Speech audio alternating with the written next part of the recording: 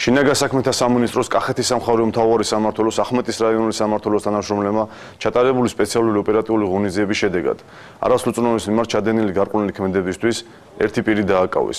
ბრალდებულმა ახმეტის რაიონში 9 წლის მოზარდთან 2012 წლის ზაფხულში გარყვნილი ქმედება ჩაიდინა. გამოძიება გარყვნილი ქმედების ფაქტზე მიმდინარეობს საქართველოს სისხლის სამართლის კოდექსის 151 მუხლის პირველი ნაწილით.